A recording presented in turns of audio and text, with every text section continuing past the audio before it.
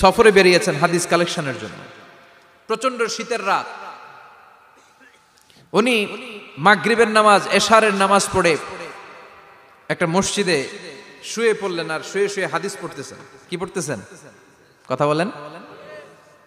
আর মনে মনে ভাবলেন, রাতটা মসজিদে কাটায় দেই, ফজরের নামাজ পড়ে আবার বেরোবো। কিন্তু দারোয়ান এসে বলে, মসজিদে থাকতে পারবেন না, ওঠেন। দারোয়ান আছে না? কথা কন। আহমদ ইবিন হাম্বাল বললেন, আমি শুধু রাতটা থাকতে চাই, আমি তো ফজরেরও মুসল্লি। ফজর নামাজ পড়ব তো এই মসজিদে, আমার থাকতে দাও। দারোয়ান তো দেয় না। কেন মসজিদে থাকার জায়গা না। জান উনি যে আহমদ ইবনে হাম্বাল, এটা চিনে নাই। থাকতে দেয় না। কি করবে এখন উনি? কাঁথা গুছিয়ে হাদিসের কিতাব নিয়ে, কাদের মধ্যে ব্যাগ নিয়ে মসজিদ থেকে বেরোয় গেলেন, কি আর করবেন? প্রচণ্ড শীত আর কাঁপতেছেন বুড়ো মানুষ। পথিমধ্যে দেখলেন বাজার।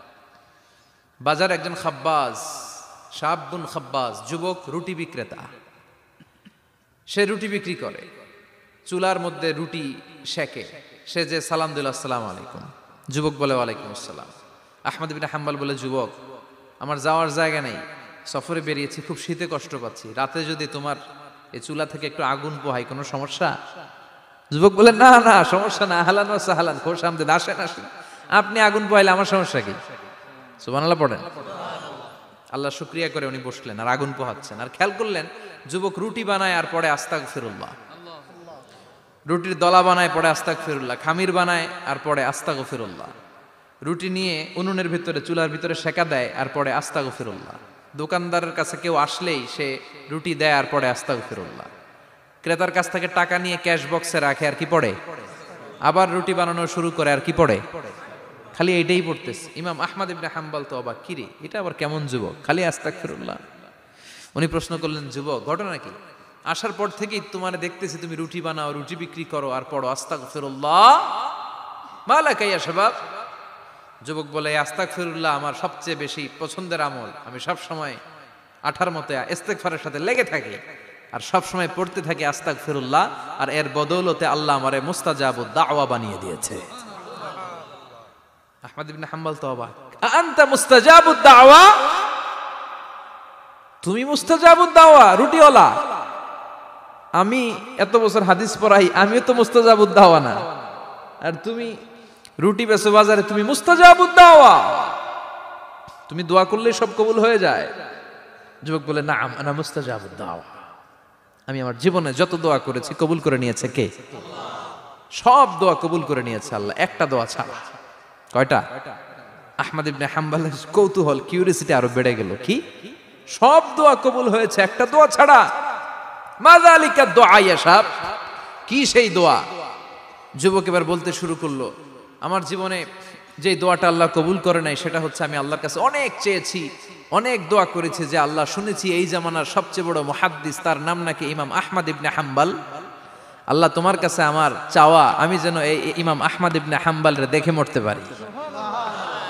আমি যেন ইমাম আহমদ ইবনে হাম্বালের হাতে হাত রেখে মুসাফা করতে পারি আর তার কপালে একটা চুমু এঁকে দিতে পারি। আহমদ ইবনে হাম্বাল আবেগপ্রবণ হয়ে গেলেন, চোখের পানি ছেড়ে দিলেন। বললেন, যুবক, তোমার এই দোয়াটাও কবুল হয়ে গিয়েছে। আহমদ ইবনে হাম্বালের দেখা আর সাক্ষাৎ পাওয়ার জন্য আহমদ ইবনে হাম্বালের বাড়িতে তোমার যাওয়ার দরকার নাই। আহমদ ইবনে হাম্বাল তোমার দরবারে ছুটে এসেছে। আনা আহমদ ইবনে হাম্বাল, মুহাদ্দিসুদ্দাহার।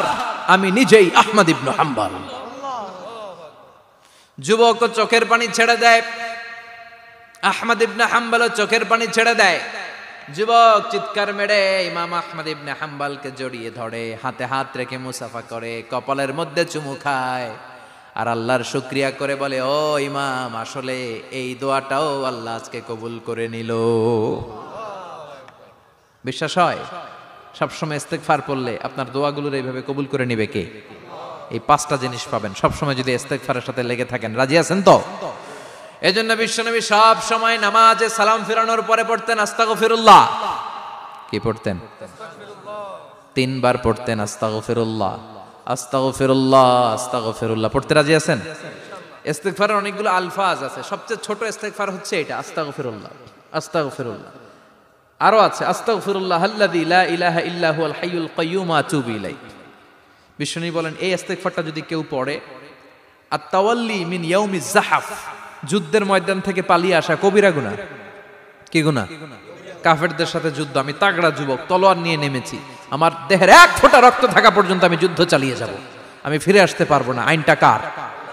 ফিরে আসলে কবিরা গুনা বিশ্বনবী বলেন, যুদ্ধের ময়দান থেকে ফিরে এসেছে এরকম কবিরা গুনাহ অবলম্বনকারীও যদি আস্তাগফিরুল্লাহ আল্লাযী লা ইলাহা ইল্লা হুয়াল হাইয়ুল কাইয়্যুম ওয়া ইলাইহি পড়ে, ওই কবিরা গুনাহকারীকেও ক্ষমা করে দিবে কে? পড়তে রাজি আছেন তো? আবার সৈয়দনা আবু বকর বললেন, ইয়া রাসূলুল্লাহ, আল্লিমনি দুআআন ফি সালাতি।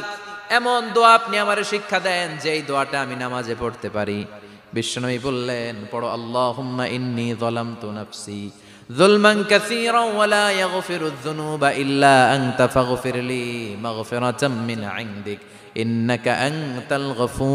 রহিম।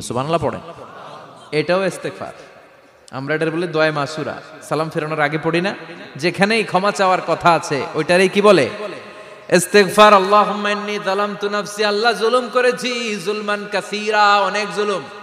ওয়ালা ইয়াগফিরুয যুনুবা ইল্লা আনতা, তুমি ছাড়া এই গুনাহ ক্ষমা করার তো কেউ নাই। ফাগফিরলি মাগফিরাতাম মিন ইনদিক, তোমার দয়ায় আমারে ক্ষমা করে দাও। ইন্নাকা আনতাল গফুরুর রহিম, তুমি হলা ক্ষমাশীল, ঠিক কি না এটাও ইস্তেগফার, এটাও পড়বেন। আর এই সব ইস্তেগফারের, শ্রেষ্ঠ ইস্তেগফারের নাম সাইয়্যিদুল ইস্তেগফার।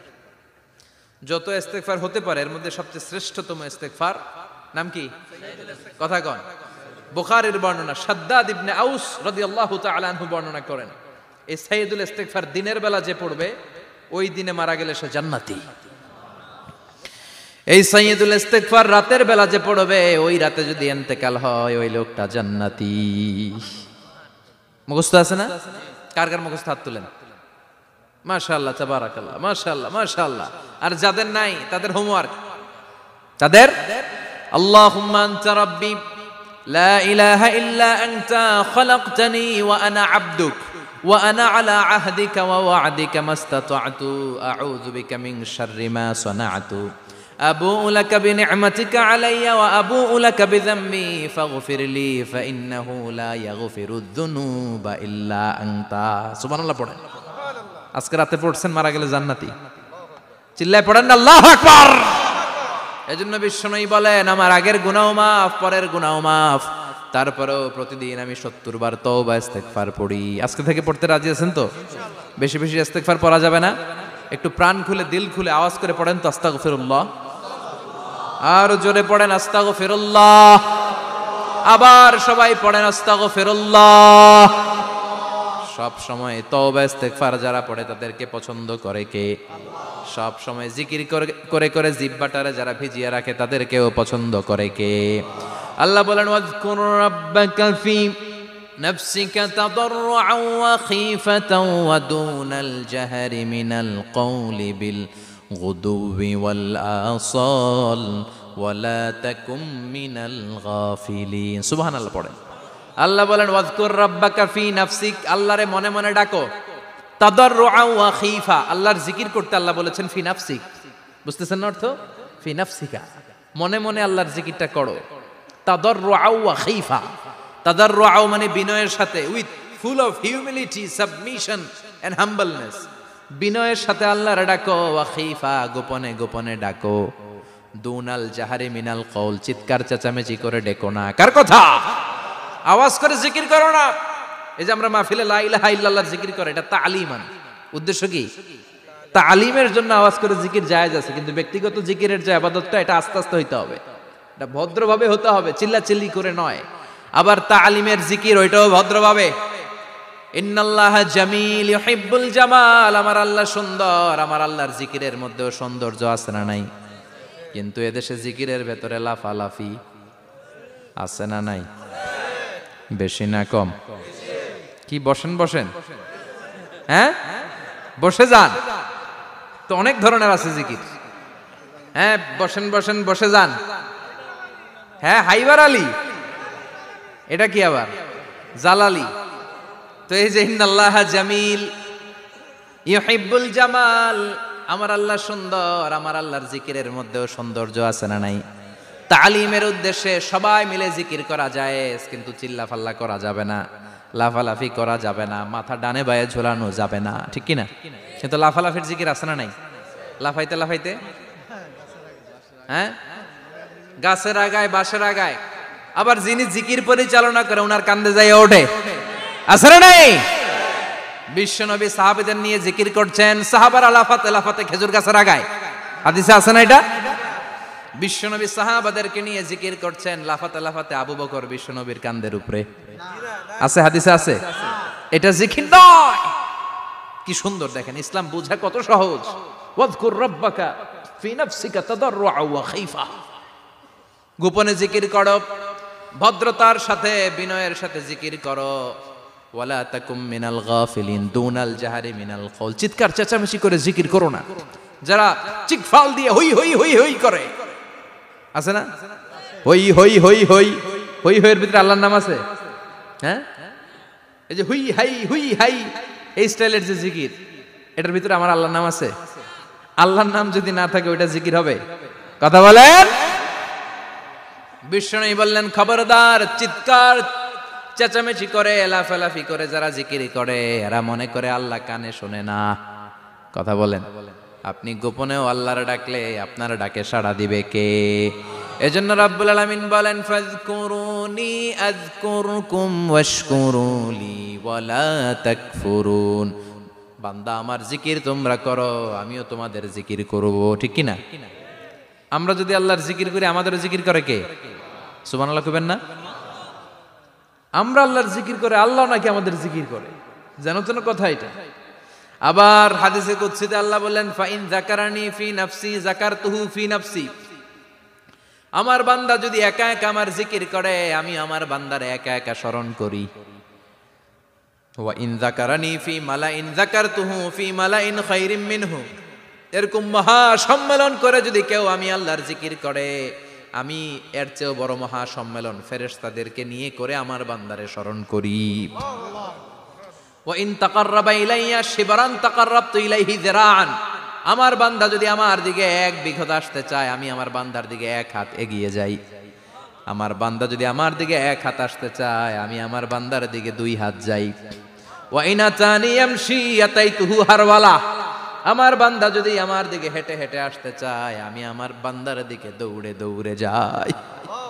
সুবহানাল্লাহ পড়ে এজন্য বিষ্ণু বলেন, লা ইয়াজালু লিসানুকা রাতবাম মিন আল্লাহর জিকির দিয়ে জিব্বাটারে ভিজিয়ে রাখবা কার কথা? চিল্লায় বলেন, কার কথা? সবসময় আল্লাহর জিকির করতে রাজি আছেন তো?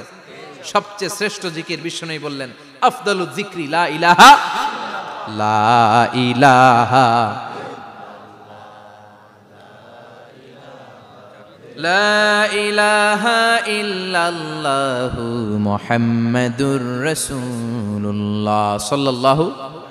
সবচাইতে শ্রেষ্ঠ জিকির। লা ইলাহা, এর চেয়ে শ্রেষ্ঠ জিকির আছে? কথা বলেন।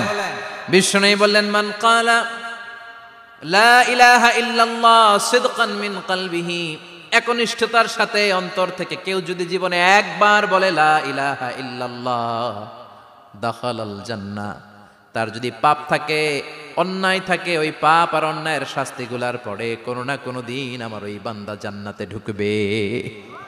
একবার যদি খালেসান মিন কলবিহি সে পড়ে, লা ইলাহা ইল্লাল্লাহ, তার জন্য জান্নাতকে অবধারিত করে দিয়েছে কে? আবার এটার নাম আল্লাহ দিয়েছে কালিমায়ে কথা বলেন। দরাবাল্লাহু মাসালান কালিমাতান তাইয়িবাতান কাশাজারাতিন তাইয়িবাতিন আসলুহা সাবিতুন ওয়া ফারউহা ফিস সামা সুবহানাল্লাহ পবিত্র বাণী এটা কালিমায়ে তৈয়বা। আবু সাঈদ আল খুদরি থেকে বর্ণিত। মুস্তাদরেকে হাকেম আর সাহিহ ইবনে হিব্বানে এসেছে। বিশ্বনবী বলেন মুসা আলাইহিস সালাম আল্লাহর একবার প্রশ্ন করলেন ইয়ারাব আল্লিমনি আদউ বিহি। আপনি আমার এমন একটা জিকির শিক্ষা দেন যে জিকির দিয়ে আমি শুধু আপনার জিকির করব। কেউ এই জিকির করতে পারবে না। এই জিকির জানব শুধু আমি আর জানবেন? কথা কোন। প্রশ্ন করছে কে? হ্যাঁ? কাকে করেছে? আল্লাহ এমন একটা জিকির শিখান, যেই জিকির কেউ জানে না, আমি জানব। আর ওই জিকির দিয়ে প্রাণ ভরে আপনারে ডাকবো। আল্লাহ বললেন, মুসা, পড়ো, লা ইলাহা লা ইলাহা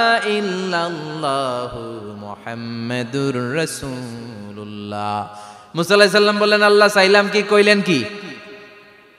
লা ইলাহা তো জাতীয় জিকির। এটা তো আন্তর্জাতিক জিকির, এটা জানে না, এমন কেউ নাই। এমনকি হিন্দু ভাইরাও জানে কথা কন।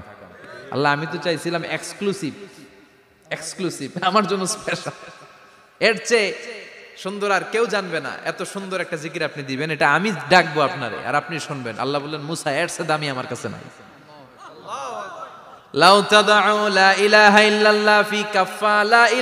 যদি মুসা এক পাল্লায় রেখে দাও। সাত আকাশ সাত জমিন যদি আরেক পাল্লায় রেখে দাও। লা ইলাহা এক পাল্লায়, সাত আকাশ, সাত জমিন আর এক পাল্লায় ওজন যদি দাও। লা রজাহাত কাফাতু লা ইলাহা ইল্লাল্লাহ। মুসা দেখবা মুহূর্তের মধ্যে লা ইলাহা ইল্লাল্লাহর পাল্লা ভারী হয়ে গেছে।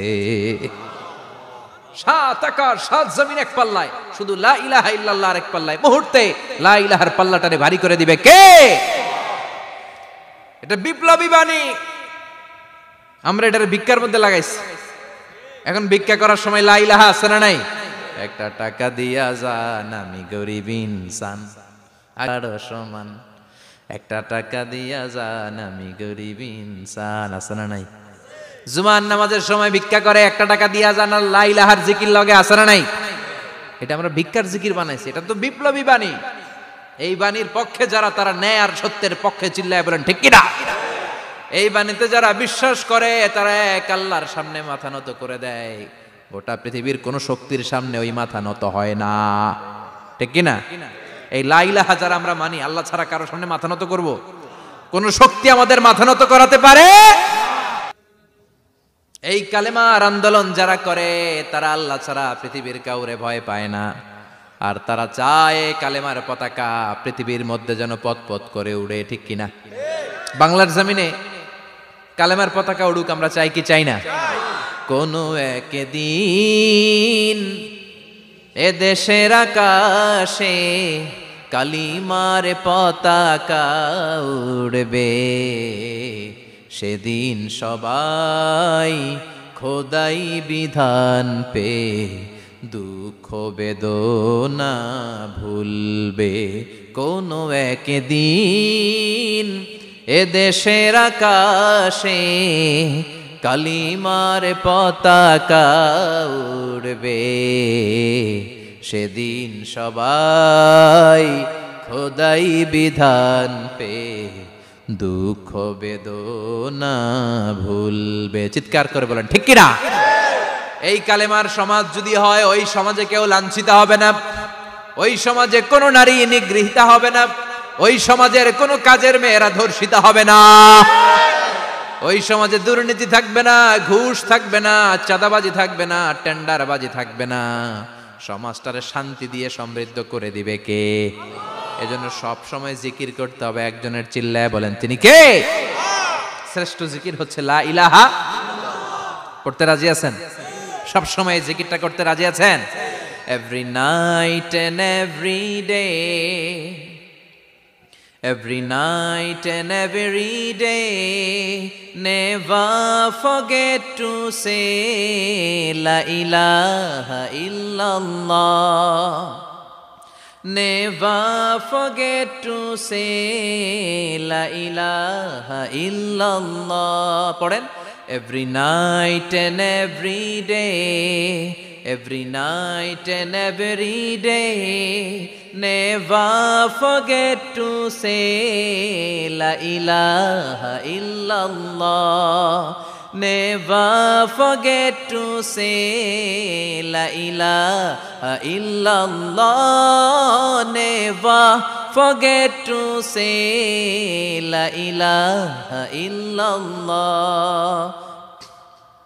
When you're walking down the street, use your time and repeat and say in every heartbeat La ilaha illallah. When you're walking down the street, use your time and repeat and say in every heartbeat La ilaha illallah every night and every day every night and every day never forget to say La ilaha illallah. Chilla take it out